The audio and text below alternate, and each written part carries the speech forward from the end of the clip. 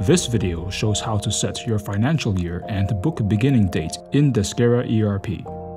Please understand that these settings are fundamental to your accounting, and so they should be set correctly as early as possible. If you change them after accounting records and transactions have already been processed, we cannot guarantee against ramifications.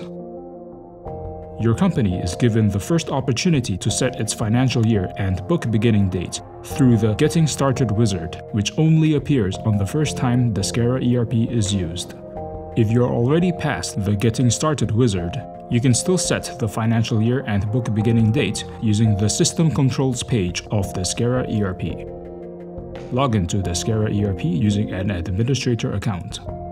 On the menu to the left, expand System, Preferences, and click System Controls.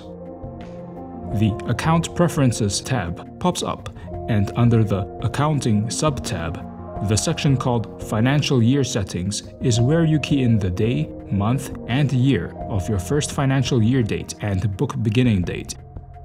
The first financial year date is the first day of your company's fiscal year cycle.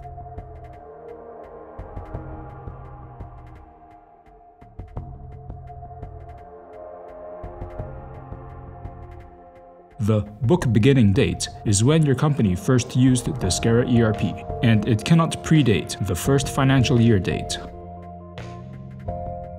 Once you've set the dates, click the Save button.